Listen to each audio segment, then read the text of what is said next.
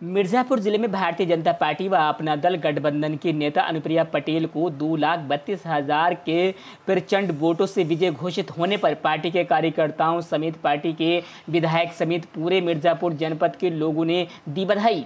वहीं अनुप्रिया पटेल ने सभी जनपद वासियों को जीत के लिए धन्यवाद ज्ञापित किया। वहीं प्रधानमंत्री मोदी जी को अपनी जीत के अवसर पर पुनः प्रधानमंत्री बनने की अपील की। वहीं भारतीय जनता पार्टी के नगर विधायक रत्ना मिश्रा मड़िहान विधायक रमाशंकर सिंह, पटेल, अनुराग सिंह, अपना दल अध्यक्ष आशीष पटेल के आवास पर सैकड़ों कार्यकर्ता मौजूद रहे।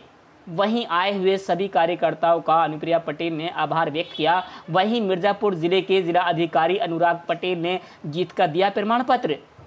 मिर्जापुर से आशीष पांडे, लाइव अभी तक।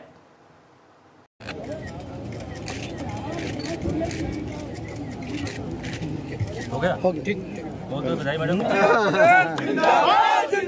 मिर्ज़ापुर की जनता का मेरे लिए स्नेह है उनका मुझ पर भरोसा है और उनका ढेर सारा आशीर्वाद मुझे दूसरी बार लगातार प्राप्त हुआ है। मैं मिर्ज़ापुर के सभी मतदाताओं की बहुत बहुत आभारी हूँ और साथ ही मैं अपना दल भाजपा और निषाद पार्टी के सभी कार्यकर्ताओं को भी धन्यवाद देना चाहती हूँ जिनके अथक परिश्रम से आज ये रिकॉर्ड जीत हम लोगों ने यहाँ पर दर्ज की है और साथ में हमारे एनडीए गठबंधन ने उत्तर प्रदेश के अंदर एक ऐतिहासिक रिकॉर्ड कायम किया है और देश के अंदर आज एनडीए गठबंधन 350 सीटें लेकर आया है। ये दिखाता है कि किस तरीके से मोदी सरकार की नीतियों के प्रति जनता की जनता का विश्वास है।